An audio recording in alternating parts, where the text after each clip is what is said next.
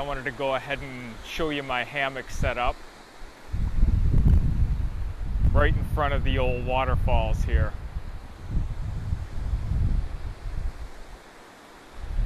First things first, this tarp, this 5 by 7 tarp, isn't really long enough for hammock camping. I mean, water, if it rains, water and snow and whatever is going to get right there. I mean, I can cover up up there, but I have a hard time up here.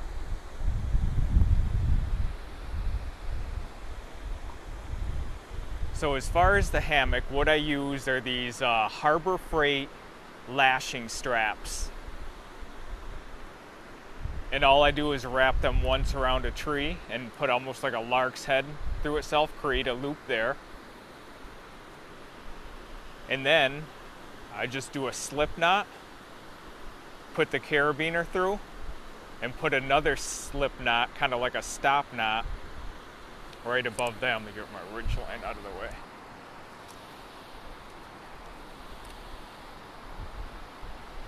So the carabiner goes through a slip knot and then I just have another slip knot working as a stop knot there. I have my whoopie slings, my Walmart, ham- Walmart hammock here. Did the same thing on the other side created a loop around itself here, around the tree. Then I did a stop knot, put the carabiner through, another stop knot to act as a, or I'm sorry, another slip knot to act as a stop knot. And then I just, from there, I just adjusted my whoopie slings. You might see some red carabiner here on one of these. What I use the red for is red is for my head. So my head is always gonna go on the side where the carabiner has the uh, red paracord on it, just so I don't mix and match where my head and feet go. Then my ridge line, about a 25 foot braided ridge line that I made. So there's a loop on one end, and I just looped it around the tree here.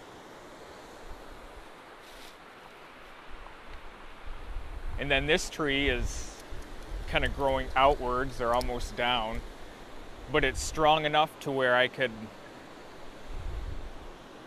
wrap it around here. And then I just did a taut line hitch at this end to tighten it up.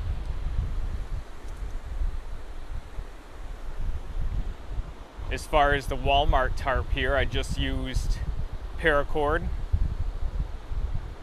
with a taut line hitch adjusting it to the ridge line.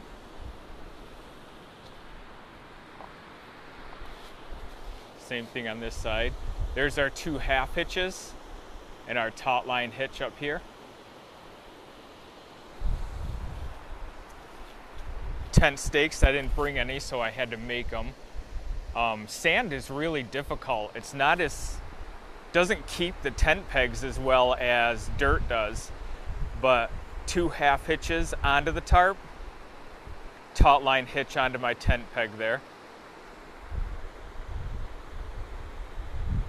I like this tarp for other things. I don't really like it, as I'm finding out now, for hammock cover configuration. I mean, it'll work if it's going to stay dry, then it's no problem at all. On this side, this tree stump was kind of in the way, and I wanted to solidify the tarp a little bit, so I just wrapped a piece of paracord around it two half hitches, taut line hitch. So that is the setup, guys. That's how I set up set up my hammock. I know some guys do it quicker. I know some guys fly through it. I understand that, but when I'm in the woods, I really don't do anything quick. I like to take my time. I like to enjoy myself. I like to make sure everything's precise so I don't have to keep going back and adjusting let's see if we can give you a quick look here.